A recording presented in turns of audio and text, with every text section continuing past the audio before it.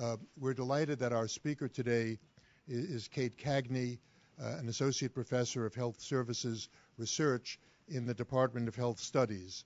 Um, Kate's research interests include neighborhood effects on health, race, and ethnic differences in access to health care, in long term care, um, and, and, particularly the relationship between family structures and long term care arrangements. Uh, Kate has an MPP, uh, Master's in Public Policy, from the University of Chicago, and a PhD from Johns Hopkins. Um, she's also the director of the Population Research Center, uh, an interdisciplinary research center here at the university designed to facilitate uh, population research. Uh, I, I, had a, the occasion to review the Population Research Center before coming to do this introduction, and I can only say that it reads like a who's who of the University of Chicago faculty. Anybody who is not on that faculty list um, is, is, surely missing something, and I congratulated Kate on that. Um, some of Kate's recent papers uh, deal with neighborhood level cohesion and disorder, the measurement and validation in two older adult urban populations. Um, an earlier paper, uh, a, a, joint effort by, by a number of scholars, was a vision for progress in community health partnerships. Uh, Kate tells me that our speaker next week, Rob Sampson from Harvard, who of course was here uh, when Kate arrived as a postdoc, um, uh, was sort of created a kind of theoretical framework from which Kate's research departed uh, to lead to her current work. But, but there is a relationship between Kate's work and, and what Rob will be talking about next week. So it's a delight to welcome you to the Health Disparity Seminar. Kate. Thank you, Thank you Mark.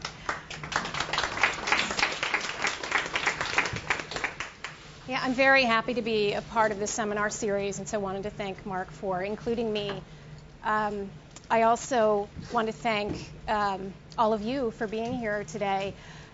As I've been sort of looking around the room, I keep wanting to gravitate toward people and have a conversation. So it feels like a room full of friends, um, which I think is a good way for me to say that since we're all pretty comfortable with one another, and I feel I don't need to say this in this audience, but um, please ask questions at whatever point you choose. I feel like if I say that, then it seems, right, that that's um, an invitation uh, to all of you to um, begin this. It's, it's really nice for me because this work is ongoing, and although um, I've been doing work in neighborhood-based research for uh, probably the last seven to eight years. This is new research. Uh, we're looking at change over time. We're looking at biological outcomes. Well, in this case, obesity for the illustration today. Um, and I've also taken us on the road. I've spent those last years examining the city of Chicago, and now we're going to Dallas. So I'm going to show you maps of Dallas. We're going to talk a little bit about how Dallas might differ from uh, Chicago and whether some of these neighborhood social processes are things that are, are, generalizable across urban contexts. I also want to share with you uh, one observation by uh, my friend and colleague Mario Small is that much of the research that we discuss in urban uh, sociological uh, worlds, you know, such as at ASA and, and here at the University of Chicago, is so dependent on research that's been done in the city of Chicago. And where I feel a lot of pride in that and pride in, in um, what's really arisen from um, research uh, in the Chicago School of Sociology, I think Mario's point is well taken that we, we might want to do a little more research in some other urban contexts and at various levels of aggregation. Um, so with that, I will start by saying our paper is on the neighborhood context of health disparities. This is joint work with uh, Chris Browning at Ohio State. It's been funded in part by the OSU Initiative in Population Research. And the other thing I want to say, since I um, did uh, foreshadow that we're going to Dallas today, is that um, my colleague Leanne Kurina, who has spent most of her uh, research time thinking about human genetics and had been working with the Dallas Heart Study, that's the data that we use today, um, came in my office one day and she was holding the questionnaire from the Dallas Heart Study. And this was developed by cardiologists from Houston and she said, "Oh, you know, your neighborhood questions are in this questionnaire. You know, they they're interested in research on neighborhoods." And I and I thought, okay, sure. You know, I hadn't really talked with Leanne very much about neighborhoods. I think I presented a couple times in the department. Um, and I thought, oh, they probably have some question on whether people are satisfied with their neighborhoods. If there's ever a general question in large-scale surveys, it usually asks people, you know, are you happy where you live? What's the quality of your neighborhood? That kind of thing. Um, but of course, Leanne was right. And that subset of questions that exists in the Dallas Heart Study are exactly what came from the Project on Human Development in Chicago Neighborhoods, which Rob Sampson, Felton Earls, and Steve Raudenbush developed uh, in the early 90s. So it was really amazing for us to have those neighborhood data in a in a survey, in a social survey, and also in a large-scale research project that included biological indicators. So this is the really the first cut on this. We've also looked at blood pressure. We're starting to look at CRP. Um, but sort of in the spirit of the NSHAP study, which, which Linda directs, we're really trying to link the biological with the social. And so this is a, a nice opportunity for us. And the third thing I'll say about uh, these data and our pursuit here is that we were also able to get crime data on Dallas. And for any of you who um, have done any work with crime data, it's surprising that it's hard data to get. It's hard data to get at a particular level of specificity. And so colleagues of Chris's at Ohio State, uh, Lori Krivo, Ruth Peterson, have put together crime data for 60 U.S. cities, one of which is Dallas. So we were able to triangulate these data sources in such a way that we're able to look at a change in a neighborhood outcome. What we're going to talk about is crime, and I'll motivate that in a moment, and a change in our example today, obesity. So for those of us in neighborhood-based research, as I'll talk about now, that speaks to one of our key challenges, which is this idea that you know, how do we get at this notion of causality and selection? And as you can imagine, um, when we start talking about neighborhood context, many um, people have said to me, many of whom are economists, will say um, it's, it's selection. That people of particular characteristics move into particular neighborhoods.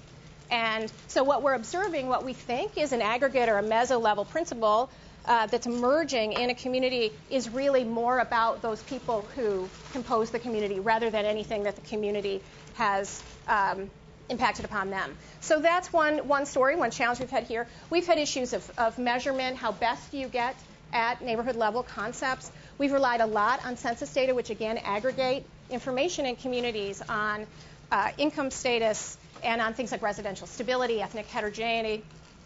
Uh, but we don't really um, have so much on some of these measures like trust and solidarity, some of these things we imagine would emerge. We're also not so sure how to test some of them. Steve Raudenbush has really led the way in thinking about how we might consider psychometric properties as ecometric properties, and he's a very nice paper on that to help us think about using some of those same statistical principles to measure mesolevel properties.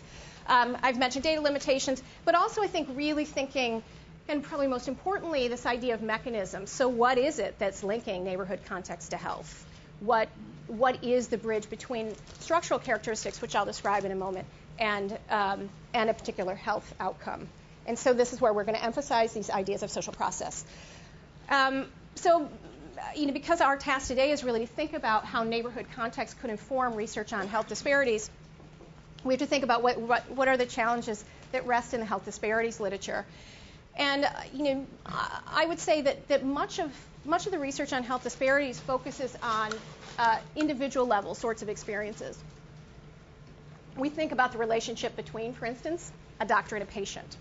We think about uh, discrimination that might happen in the dyad or, or people's perceptions that might inform the way a physician makes treatment choices. So that's, so that's one story. I think we also focus a lot on demographic based disparities. So we'll think about things like gender, like race, like age, and the extent to which they may shape people's opportunities. Um, but I think one important principle to take away, I hope, from this conversation today is that um, disparities may exist not just at the individual level, but at the neighborhood level. And I think um, for those of you who have read William Julius Wilson's work, um, who is also one of the key people who um, you know, really helped us think about how social disorganization theory could inform contemporary um, analyses of urban context. You know, in one illustration was helping us think about individual characteristics like social isolation and how it matters that a socially isolated individual is in a socially isolated community.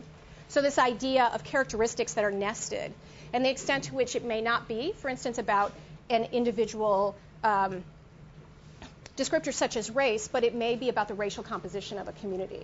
So it's really trying to extend some of these ideas about disparities that we have generally looked at at the individual level and think about how we might aggregate those up and consider disparities related research at the neighborhood level.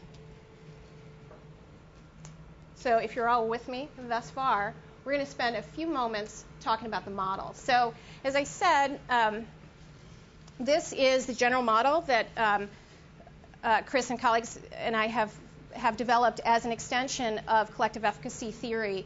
And this really comes originally from social disorganization theory in the 30s and 40s, Sean McKay, Burgess, and others here at the University of Chicago, um, where they theorized that structural features of communities like economic disadvantage, the absence of affluence, residential instability, ethnic heterogeneity led to a particular kind of outcome related to crime. So they were interested in how these things might be criminogenic. Um, what, what we've tried to do in this context is take this same sort of model and apply it to a health outcome. So I'm just going to sh- show you three quick research findings and how it led to the paper we're doing today, and then I'm going to roll into that analysis. So um, on the structural side of the model, so if we think about it, three components, structural, process, outcome, we can think how the ab- absence of affluence um, led to the, uh, you know, understanding the difference in self-rated health between older blacks and whites. We found that in Chicago-based research. We then sort of, you know, moving around the model, we've had some interest in trying to understand again another structural feature, ethnic heterogeneity, um, and that residents in ethnic enclave reduce the um, level of asthma prevalence we then move around this model to think about collective efficacy. So I'm going to define this uh, more fully in a moment, but um, well, how many of you have heard of the term collective efficacy and not just through me? so a little, yeah, it is. It's it's closely related to the concept of social capital, but the way I think about collective efficacy and the way it distinguishes itself from from social capital is it's really about um, the ability of the community to come together for the common good. So it's more sort of action oriented in some sense. It rests on these two components of social cohesion and informal social control. In today's analysis, we're going to focus on social cohesion. But an important way to think about the idea of collective efficacy is it's this notion that um, kind of uh, you feel like everybody has your back in your community. And it's not that um, you're friends with your neighbors, but you trust them. And if your house were burning down, you'd feel like you could go rap on the door and somebody would provide help private assistance. It's that, it's that feeling, that normative orientation, that level of trust that makes you feel some comfort in the community. That's what we um, focus on. So uh, that's one result related to that social process piece that's linking the structural outcome or the structural piece to the health outcome. Um, we then have done some work on the 1995 Chicago heat wave, so we're still in Chicago. Um, and we found that neighborhood commercial decline was associated with excess mortality during the 1995 heat wave. So this is where we were starting to tease out what might be this mechanism. What are the stressors, if you will, that relate these structural and social process features to these outcomes? Uh, you know, because of this work, I think on the heat wave, we're really interested in this idea of drawing out what is disorder apart from commercial decline. So in the heat wave analysis, we um, we're really interested in in trying to characterize communities in a way that um, I guess, you know, in some sense would make them more or less inviting. So it's not just that older adults couldn't get outside. There might not have been anything appealing to them in that outdoor space or any place where they could seek relief. It might not have been any place to buy a fan or to go indoors to cool off. So it's not just that people might might be afraid, but that there wasn't anything drawing them outside. That said, we're really interested too in trying to understand why, for instance, might um, might fear matter and, and what is it that, that might be closely related to fear in community context. And so that led us to um, want to understand, I think, in a more detailed way, the impact that crime might have in communities. And again, sort of thinking about that as a social stressor.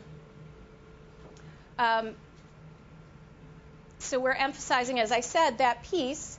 But, but one of the other things we want to do too, we want to draw out that mechanism. We also want to understand health in a more detailed way. And and I think, um, and it'd be interesting for some of you to comment upon this in the room. One of the things that's been, that is somewhat of a frustration, one of the things I like a lot about the NSHAP study, is that it can be hard to find um, appropriate or more detailed health measures in a social survey that also has really rich information on networks on community life, on lots of other aspects of social engagement. So to be able to put these two together, um, yeah, is quite beneficial to us. But it also made us realize that we had to turn to other theories, not just to contemporary elaborations of social disorganization theory, as I mentioned, Rob's work and William Julius Wilson's work. Um, we also turned to the work of our uh, colleague uh, Teresa Seeman and Eileen Crimmins. And this is a model that they developed. It's a heuristic biopsychosocial model of health outcomes, where um, when they originally developed this piece, it was meant to look at uh, disparities in health and healthcare and to try to understand how demographic factors, socioeconomic status might lead to particular kind of health behaviors, might lead to these components of biological risk. And sort of in our conceptualiz- conceptualization today, we're thinking about obesity, consistent with Vicki Freedman and others, as sort of being one signal of biological risk and how that might lead to particular kinds of health outcomes, mortality, physical functioning, cardiovascular disease, and the like. Um, and what we'd like to do in this context, particularly, is we're really interested in thinking about differences by sex.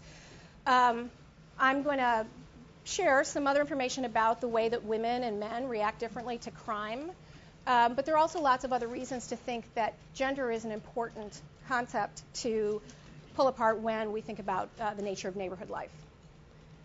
Um, but the one thing we wanted to do to this model, so what I'm trying to do is synthesize the social disorganization approach with this biopsychosocial model. Um, so visually, what I was trying to do is insert the neighborhood structural component into the Crimmins and Seeman model so that we see both that um, we can imagine neighborhood social features affecting biological risk, and we can also imagine that there might be some kind of feedback mechanism. But what we noted that was missing in this model was again sort of this meso-level process that it's not just about these individual level characteristics but the environment in which people are situated that might have an impact on biological risk and on some of the in- kinds of outcomes we're interested in examining so that's essentially where we are in the theoretical motivation and i'm now going to talk a little bit about the literature on BMI. And as I said to you, I'm really interested in thinking about obesity as a biological risk. There are lots of reasons, I think, um, why obesity in particular is interesting in neighborhood context. Some of those reasons have been outlined in research by Jason Boardman, by our own Virginia Chang, thinking about how some kinds of contextual factors like racial composition and economic disadvantage matter for uh, obesity.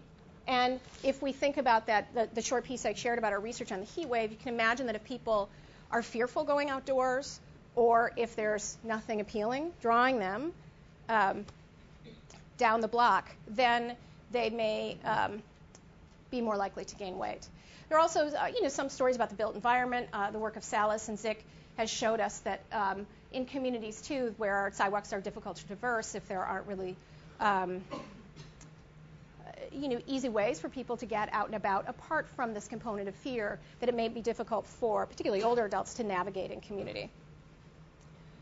Um, so, you know, on the neighborhood social process piece, which is what we'll focus on, there's again some some um, evidence that disorder and psychosocial hazards, the work of Burdette and Hill, again another piece by Virginia Chang, and the work of Tom Glass, indicate that if communities apart from these uh, a built environment concept that they might not be so inviting. But if we see a lot of litter and trash around um, might see people in your neighborhood you're not so used to seeing that that idea that you live in this disordered physical and social space might have an effect on um, the likelihood that one gains weight there's also a suggestion in, in this work particularly articulated by Cubbin and by Glass that a focus on individual level treatment might be ineffective so it's this idea again, you know, if we think about um, how we are accustomed to treating obesity or to talking about weight, we really think about it as a dialogue, usually between a physician and his or her patient. And so it's the idea, too, that interventions for something like obesity might be uh, better aimed at a, a group level form of initiative. And so I hope we return to that point at the end of the paper. Uh, so I'm just going to reiterate these mechanisms. I really foreshadowed this in the in the diagram, but it's really, our intent here is to link theoretical approaches from neighborhood research to models of physiological dysregulation. I talked about this urban social context piece and, and the work of Wilson that's helped us think about racial differences and neighborhood SES disadvantage. Um, the work of, of Rob and collective efficacy theory, um, and this idea that, that there is a collective capacity on the part of communities to control and to create a cohesive urban space. Um, and then we're moving to, you know, thinking about again sort of these two models. We're combining social disorganization theory with this uh, biopsychosocial model of, of Teresa and Eileen, and we're thinking about this, uh, you know, potentially this um, mechanism of allostatic load, impact of adaptive physiological responses that, as they note, chronically exceed optimal operating ranges, um, and then, you know, really helping that, helping. I, I think what that model can do for us is to help us think about elucidating these biological pathways and this idea that it must work through these biological precursors. So, um, as I said, we're using obesity as one example today. We're hoping to draw out several from this data source and be interesting to see um, what kinds of ideas you come up with on that piece. Um, okay, so um, we've talked mostly about this larger concept of neighborhood social context and about how it could inform the biopsychosocial model. Um, I want to spend a little time talking about crime. Um, and you, uh, you, know, you may remember a few weeks ago, right? There were all these B&Es in um, Hyde Park. Do you remember this, where people were breaking into windows? Yeah. So, so I'm going to kind of set the stage with that. Um, and what's interesting about a place like Hyde Park, and we'll get back to this too in a moment, is that information about crime travels pretty rapidly. And if you are, how many of you live in Hyde Park? There's a lot of Hyde Parkers here. It'd be interesting, and we could talk about this later, how you found out about that. Um, and how you think about the transmission of, informa- uh, of information in a community that has um, what the data indicate and what it feels like on the street, dense social networks and how they might matter for transmission of information. Okay, so with that, there is uh, you know, evidence from um, Sampson and colleagues that cohesive social environment is associated with reduced crime, and there, you know, we can believe, or we can theorize at least, you know, it, uh, this influencing us in two ways. First might be health behaviors. So uh, we've described this idea of the use of outdoor space for recreation, changes in diet, and this idea of comfort food. So there seems to be evidence in the literature that people turn to chips. Um, someone just did. Um, when they're feeling sad, anxious. Um, I don't know how many of you are feeling sad or anxious, but you do at least have those. Um, and that exposure to stressors may increase caloric intake disproportionately saturated fat carbohydrates. So there is this idea not just that people are eating more, but they're eating a different kind of food, and that that different kind of food may have uh, implications for particularly rapid weight gain, um, which is what we're going to care about today. Then there's also this idea the stress response, perceived threats trigger um, a fight or flight response that can lead to higher BMI, and this is related to the release of hormone epinephrine. Um, and then this follow-up stage results in this release of cortisol, and there's some evidence that indicates that um, this particular kind of process may lead to a little bit more weight gain around the middle. Um, so, and it's an idea too that over over time these frequent strains, strains can lead to heightened reactivity. Um, uh, you know, and there's been some research uh, here uh, at the U of C looking at the extent to which um, people who gain and lose weight a lot. John Cawley was one of the people who actually looked at this initially. He was in the Department of Economics now at Cornell. But that there's something, it's harder on your body when you gain and lose and gain and lose. And so when I um, introduce the construct of crime spikes in a moment, it's really to sort of motivate this idea that there's something that can really throw off the um, the health of the body that is not just about gaining weight, but it's the gaining and the losing. So just to kind of think about that in the construct of why we might be interested in thinking about this idea of crime spikes. And so here we are, crime spikes. Uh, neighborhood research tends to neglect changes in the psychosocial environment. This is one thing that uh, Chris and I have been particularly interested in. Uh, it's not so easy to get data that tell us anything about change. The data, uh, and, and, Rob actually might talk a little bit about this next week because he's been really interested in questions of mobility. Um, but you know, there's some evidence that neighborhoods don't change a lot, or that the kind of data we can get from census information may not indicate the level of change that's probably really in those communities. So it's important to think about how do we obtain information about change in our neighborhoods. Uh, and so it's, it's, also important to think about the uh, health consequences of significant increases in crime within the neighborhood. So we're really interested, again, in this idea of spikes. So we're going to look at um, the extent to which neighborhoods experienced a increase in crime over a one-year interval. Um, and we want to understand how that may independently affect BMI. And as I noted, weight fluctuation is associated with higher risk of all cause and cardiovascular disease mortality. Uh, and one of the things we're interested too, I, you know, I mentioned this with the idea about Hyde Park. It's not completely clear what social cohesion would do in the context of a crime spike. So the way I told the story about Hyde Park is one where, um, you know, someone breaks in down the block, and everybody on that block by 7 a.m. knows that that occurred. And then a lot of that's happening by word of mouth or by other forms of communication because people are pretty close knit.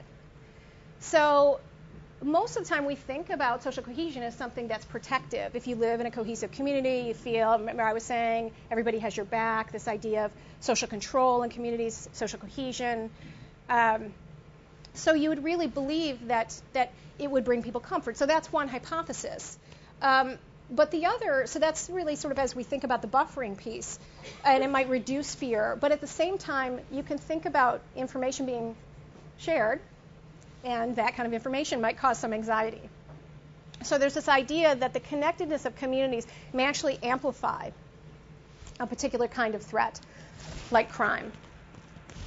So, um, so that's going to be an important piece of the way that we, we uh, approach the analysis today. And this gets us back to this idea of gender. Uh, and might there be a gendered response to neighborhood stressors? The fear of crime literature suggests that women exhibit uh, heightened fear in response to local crime. Uh, there's also this idea, too, that uh, cohesion might be anchored on women's social networks. Um, and I shared this recently in a, in a workshop that Melissa Gilliam put together. And there was a lot of discussion about whether are women's social networks better? Um, are they more prevalent? Are they more consequential? And um, do women share I'm trying to think of how best to say this. Do women share um, more and more information in a particular kind of social interaction? So is there really a different? Are those are those networks different in the extent to which you might act upon the information you received in that exchange? So this, the work by Rountree uh, suggests that there is something different about women's social networks um, and we're continuing to explore literature that might suggest some of the other kinds of, of concepts that I just raised. Okay, so we argue that, uh, or we're testing, you know, residence in crime spike neighborhood is associated with short-term weight gain. But we think probably and likely this effect will dissipate over time. Uh, we also want to test whether social cohesion exerts a protective effect on weight gain and it has uh, to some degree determined the way that we're characterizing crime today is it is true that people react to information about crime about different kinds of crime in different ways.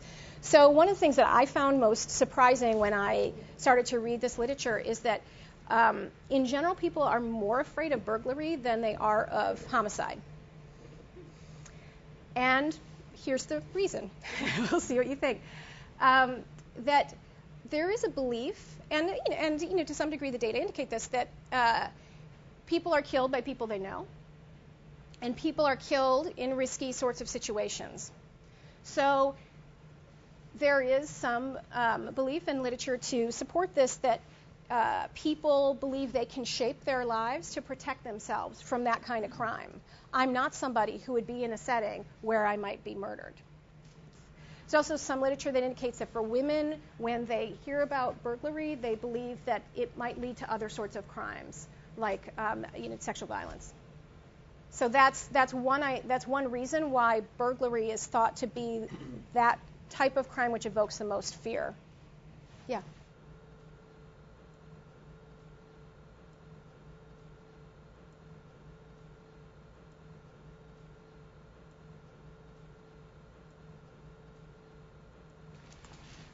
I think about neighborhood right now is where people live.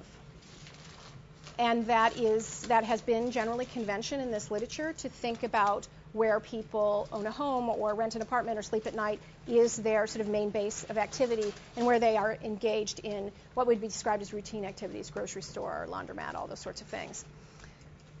One thing that we're really interested in doing, actually, Linda and I were talking about this the other day for a grant that we're proposing, is to look at um, activity space. And so that's really what, if I'm understanding your question correctly, what you're really trying to get at. It's not just where people live, but it's how they live out their lives. So where are they going? What are they doing? Uh, you know, there's a general belief in the literature that older adults' worlds constrict as they age, but we actually don't have any data to tell us whether that's true or not. So that's the motivation for this new study. But right now, I'm using a crude indicator of neighborhood, which is where people live. But your point's well taken and is something we'd like to extend. Okay. Um, I, I, just wanted to remind you after, after moving through these hypotheses, hypotheses is that the effects of intra-neighborhood change on intra-individual change in weight are what we're looking at. So it's change on change.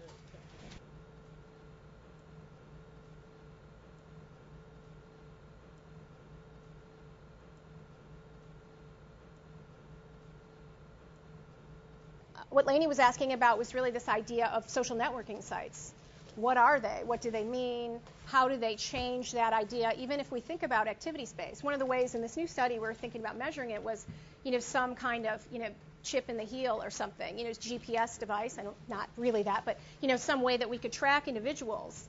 But we, but how we track them in cyberspace, yeah, we, but that would be an interesting thing to consider for this other study. I haven't seen work like that that intersects that form of research with research on neighborhood contexts. That's a nice idea.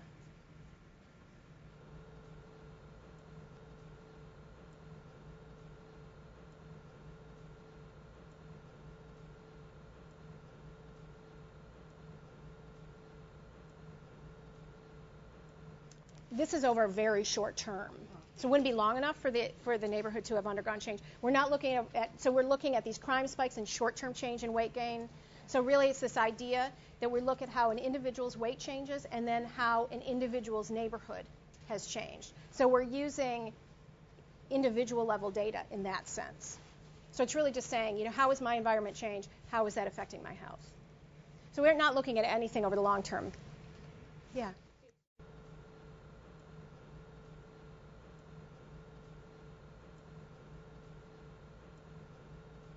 Related to this study, very few people moved because we were looking over, you know, on average a 10-week period. So there wasn't a lot of change.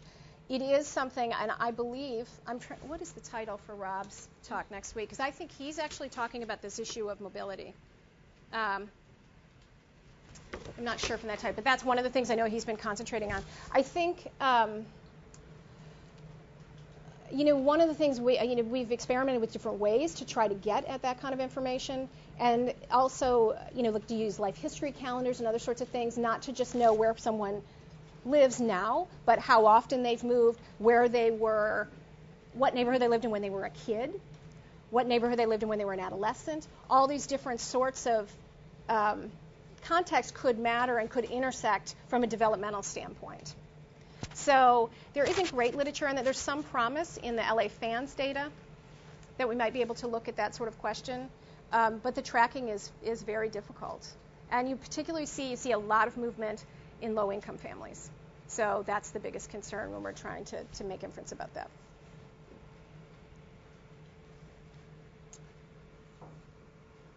Okay. Um, all right, so I'm going to describe the data quickly. As I said, this is the 2000-2002 Dallas Heart Study. It's area probability sample of Dallas. We have detailed SCS biomarker imaging data. Uh, we have a Visit One social survey with baseline biological data. We're looking at ages um, 30 to 65. We're invited back for two follow up visits. We're looking at information from Visit 1 and Visit 3. We don't have weight status at Visit 2, and that's why we're looking at it that way. In large part, although we're not sure we would have had enough movement, but it might have been nice to have that data point in between. Um, analytic sample, uh, we have about a little over 800 women and a little over 700 men. And that visit three occurred within 24 weeks of visit one. And there's an overlap with this available crime data that I already described. And in, in note, to note here, an oversample of African Americans. Um, at the census tract level, uh, we aggregate measures of social cohesion from the DHS social survey data. So again, our neighborhoods here are census tracts with your points very well taken, but that's how we're conceiving of it today.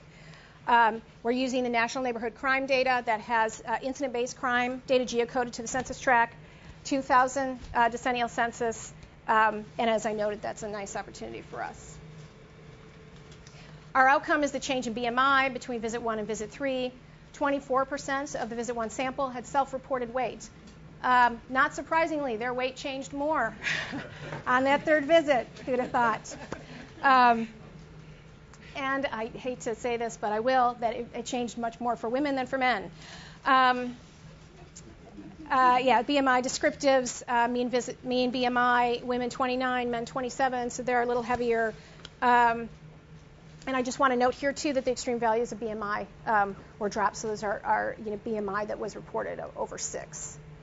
So um, with the sort of list-wise deletion and, and, other missing values, we probably lost uh, about seven percent of our sample. Uh, what are our individual level variables? Age, race, ethnicity. We're interested in foreign born status, particularly in Dallas, marital status, years resident in the neighborhood. Uh, SES, uh, education and income are our key measures here. Uh, what else do we know on the individual level? Well, we have Visit 1 BMI, uh, we have physical activity, smoking, alcohol consumption, usual source of care. And then we did put in individual level measures of social support, number of friends you feel close to, number of re- relatives you feel close to, just to kind of get some sense of whether somebody might have a particular orientation. As I said, we use a social cohesion measure based on the work of uh, Sampson Raudenbush and Earls. Um, are, are neighbors close knit? Are they trustworthy? Do you perceive them as helpful? That had an alpha about 0.68. That final measure, characterized in the in the same manner uh, as it was initially in the Project on Human Development, is an empirical based residual from a three level rating scale analysis. Um, so, okay, neighborhood crime rates, evidence of fear of crime by type. I've really talked about that already. Uh, we look at the burglary rate by year, city of Dallas three-year average rates per 100,000, and then we look at this change in burglary rate. And this is our consideration of a crime spike. There is no literature on crime spikes. Crime spikes is something that we came up with. So um, we are open to other ways that you think it might be useful to characterize a crime spike. We did, we did a very simple cut this time around. Top 20% of neighborhoods on change in burglary rate in the year prior to visit one interview. So what we did was we took everybody, so you would each have your own crime rate. So you would carry with you your tract level crime rate. And what I'm looking at over that year is I'm dividing the year prior to your visit one interview. And I'm saying, I'm cutting that in two, and I'm saying, am I seeing a spike in crime in the six months prior to the interview date from what I observed in the six months prior to that? Does that make sense? And I'll show that graphically in a second. Um, and then on average for those, so we took the top 20% who had experienced some kind of crime spike, and on average, so in that top 20%, um, about, you know, they experience on average a 60% increase in crime. So a pretty significant increase for those who did experience it, which is about 40% of our sample. Okay, so this is just to, to show you visually what we want to show you here because this is, is a clinic sample. Uh, so it's an area probability sample, but it's executed in a clinic manner. So we have case one. We're following that person. This is visit one and visit three. We can have variation between visit one and visit three in terms of its length. Case two, case three, you can see that there isn't always, for all of our cases, overlap in uh, access to those crime data. So we just wanted to show you that in some instances, we do miss some cases because the crime data were unavailable during that time. Um, I'm also going to show you if there is time. I, I, put in this little red line on the 9/11 effect. So one of the things we've, we've, just presented this a couple times before, but one of the things that has come up in conversation, one which um, from my health studies colleagues, is this idea that um, you know we do collect data over the 9/11 period, and one of the things that we see that's most striking is that um, we see a lot of weight gain. So I think we're seeing a lot of weight gain nationally. We're seeing a lot of weight gain in Texas as compared to other states. So one of the things we're trying to do right now is to draw on some national data sources to see if we can validate whether or not the weight gain we observe is something that we're seeing broadly. Um, but also because it, data were collected over 9/11. So some people had a visit one, then 9/11 occurred, then we have a visit three. We thought it was worth just exploring whether we see a little action there. So if there's time, I'm going to show you one slide that's related to that 9/11 analysis. But if this makes sense, everybody's carrying his or her own crime spike in this period of time and interval. And I just want to illustrate here that some people people vary in their follow-up time in visit three. Uh, so we use a multi-level linear model, individual level covariates. Uh, we incorporate time and then person period specific crime rates. Uh, that's at level one, and then level two are neighborhood characteristics, uh, those structural characteristics, and then the measure of social cohesion. Uh, this is our statistical model. This is our level two, which is informing level one. And I, what I just want to note here is that the study period length is centered at 10 weeks.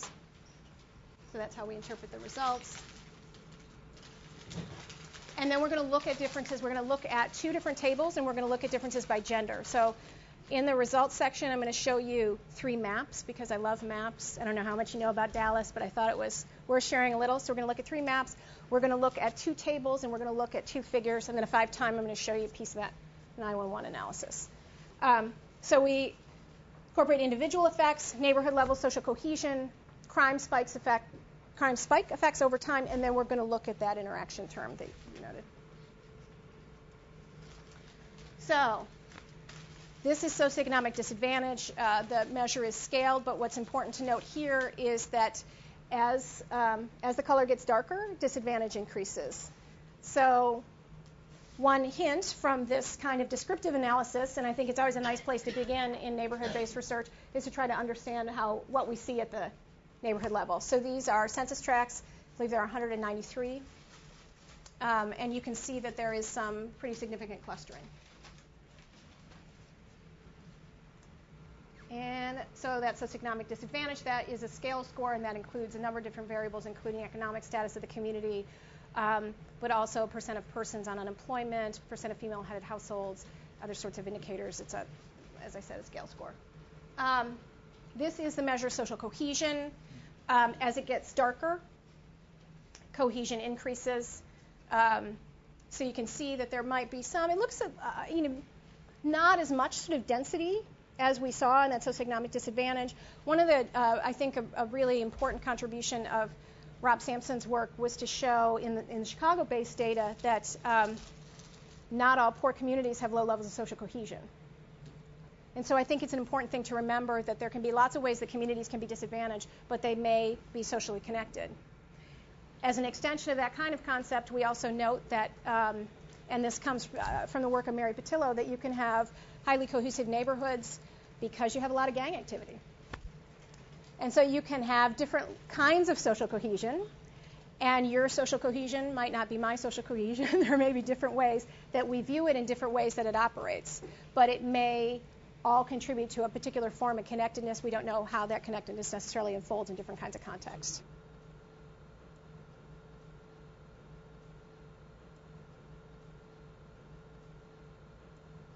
Uh, yeah, I mean that's one one hypothesis one might have is that there are ways in which these communities could be connected.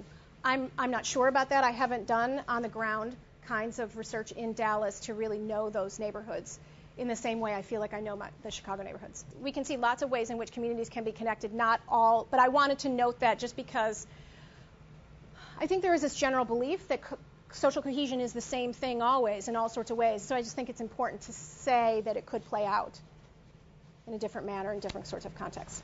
Um, and this is just to show you the uh, three-year average crime rate, where again, as it gets darker, uh, the crime rate increases. And we see again there's some overlap, closer overlap with the levels of disadvantage than with the levels of cohesion.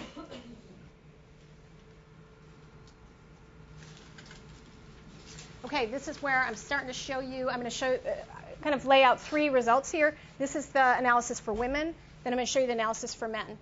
Um, and then I'm going to show you three figures based on this analysis for women. So this is the crime spike in our, the result on the crime spike. This is model three of our set of models for women. As you note, um, we're putting in, you know, in our first set of models, age, um, race, ethnicity, study period length. We then incorporate a measure of cohesion. Um, and then we're looking in this third model, we're introducing the crime spike. And uh, we're not seeing any action from cohesion, but we do see this crime spike effect. So, um, what this is really telling us is that it looks like, um, you know, people are gaining weight due to the crime spike. I mean, that's that first cut. And what we learn here is that that, so that's in a BMI point, what that translates into, essentially, if you're sort of, you know, a 5'5", 130 pound woman, that's going to be um, about 2.7 pounds. I think so. That's above and beyond what others are gaining. And, and it's going to be a little easier to see this graphically, so I'm going to show you that in a moment. So I want to show you that when we look at this interaction of the crime spike and social cohesion, we saw no action from uh, cohesion initially, but it looks like we have an amplifying effect. That's one indication. So in communities with higher levels of social cohesion, people seem to gain weight more rapidly than those without. Okay, I'm just going to show you one more quick result here, which is just to show that you know this this uh, the finding on the interaction between crime spike and study length indicates that there is some dissipation over time. So what I want to show you now, and then we're going to we're going to sort of revisit these results when we look at them graphically, is just to show you on the men. What's interesting is that we see an effect of crime rate. rate. It's it's not so powerful, but there are some indications. So we see an effect of crime rate, not crime spike. We see an effect of crime spike for women that's significant, but not crime rate. So puzzle over that for a moment, and then we'll look at these two figures. So this is the crime change in BMI between visit one and visit three by a crime spike neighborhood. So the top line is where is you know, communities that experience a crime spike or individuals who are resting in communities with a crime spike, and this is the non-crime spike. So one important thing to note here is that everybody's gaining weight. Enjoy that lunch you just had. Yeah. Um, yeah, this is. I, I hadn't really thought so carefully about presenting this during lunch and the impact it might have on how, yeah, much people cared. Um, so, yeah, what's interesting is that everybody's gaining weight, um, but we do see this, uh, you know, pretty significant increase, of course, or difference, I should say, um, in those crime spike communities. So this is, so I said we centered on 10 weeks, so this is where we're seeing that 0.46. So this is about 2.7 pounds. So everybody's gaining about two and a half pounds over on average a 10 week period. And, um, but the people who live in crime spike neighborhoods are gaining, you know, about twice as much as those non-crime spike neighborhoods. They're gaining another 2.5, 2.7 pounds from those folks. So we controlled for that. Mm-hmm. Because we wondered that too. An indicator in the model that controlled for whether or not there was underreporting.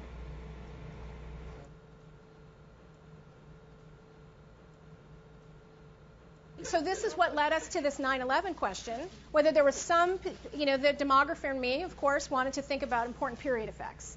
And so there might be some possibility there's something unusual about this time period because of 9/11.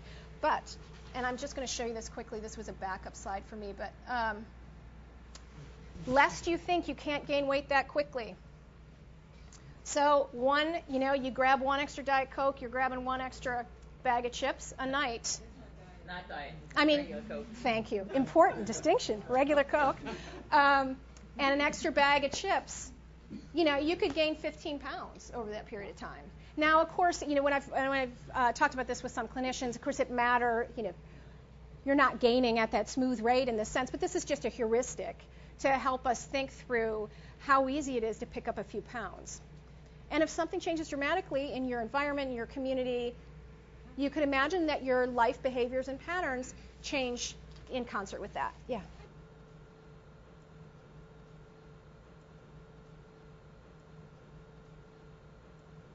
So we did look at those communities. So I, I, don't have that analysis here, but we looked at the communities where the crime went down. It went down not a lot, so there's not a lot of movement, to see whether maybe people lost weight because they felt more compelled to go outside. We don't observe that. They stop gaining, but they don't lose. Yeah. And this gets back to yeah some of the work by by John Cawley a little bit about the churning and and you know the extent to which I mean we we may know this anecdotally that once you gain it's hard to lose. So this is sort of, sort of something else that's kind of interesting to consider. Yeah.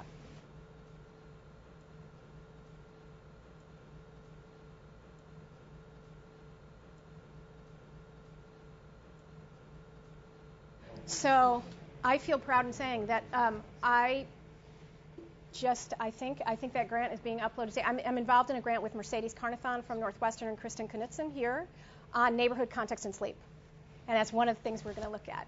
Great. Is the extent to which that matters. So. I, they're they're leading this effort, but I'm, I'm helping to develop some of the neighborhood measures. But I think it's a it's a compelling question on the extent to which just yeah the disruption over time and the noise and also these levels of fear that might shape the extent to which you have restful sleep could matter for lots of different outcomes, but particularly obesity.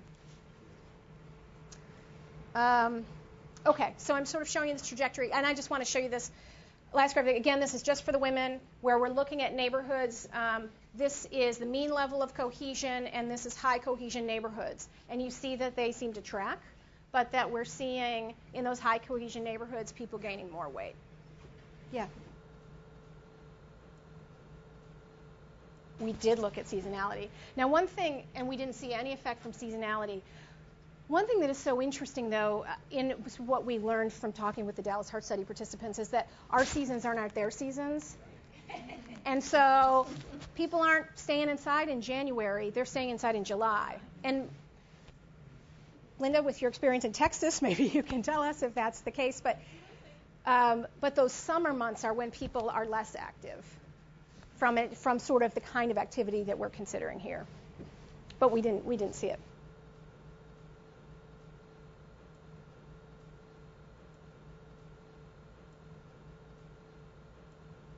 Yeah, that would be really nice, and and that's one of our sort of our next steps is to incorporate some kind of spatial analysis so that we're borrowing information from these contiguous communities. Sean Reardon's done some nice stuff on that too. So you get, if you will, some kind of smoothing, because you could imagine if you live um, if you live right here, you may be more influenced by what's happening in Woodlawn than what's happening in the rest of Hyde Park.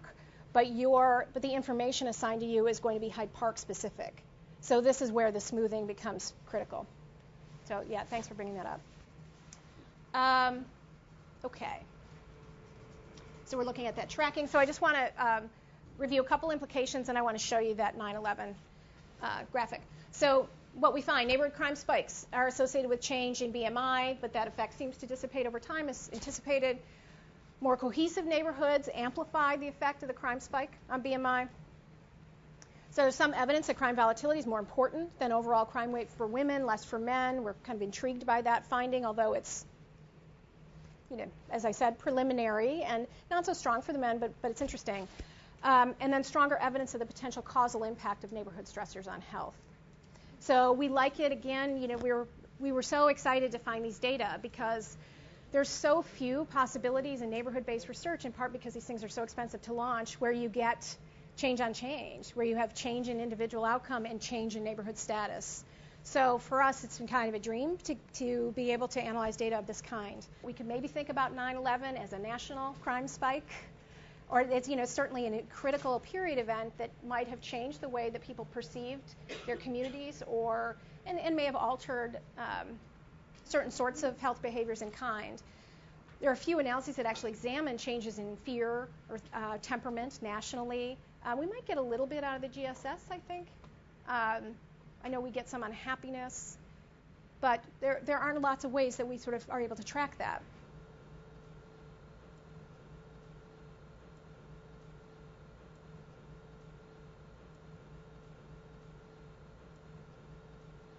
It is interesting. You know, so this is just another, this was a backup slide for fun. Um, but, uh, you know, we, we made this quickly. This is from the BRFSS. Uh, but people are gaining a lot of weight, and they're gaining it fast, and they're gaining it fast in Texas.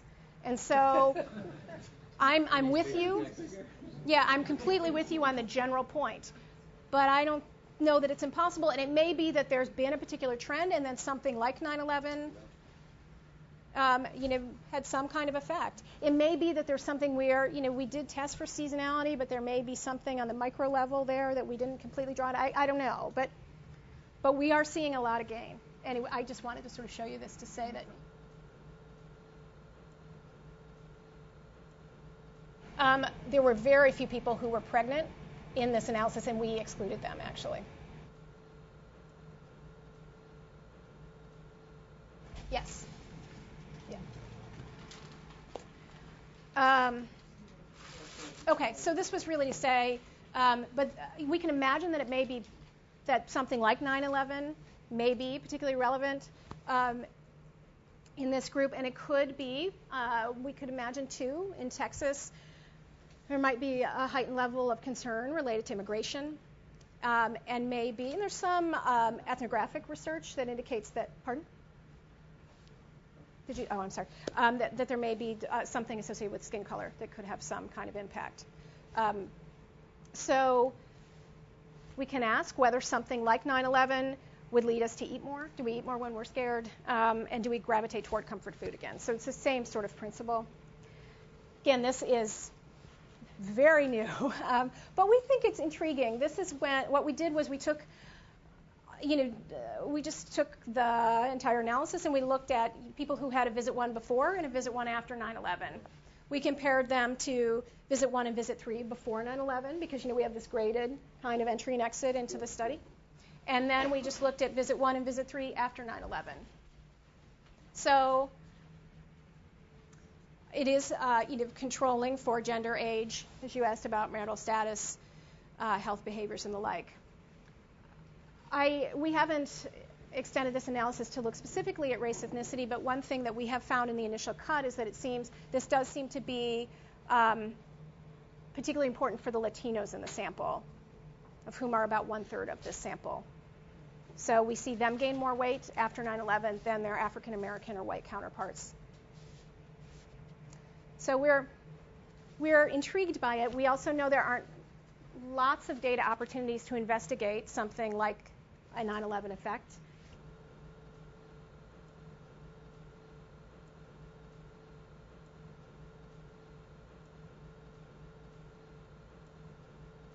I don't know at all whether there's some kind of immediate connection for people. I think we were we were conceiving it as something that was experienced at the national level in some way, so not necessarily dependent on these dyadic kinds of relationships, but that it was something sort of we all felt and knew and experienced. Um, there were lots of discussion and changes about the way that people certainly traveled, but also how we think about immigration. Um, yeah, and that that might have had an effect. Yeah, that was one of our beliefs as well. Thank you all very much. And th- Kate, thanks for a wonderful Thanks, thanks for having me. Thanks to all of you.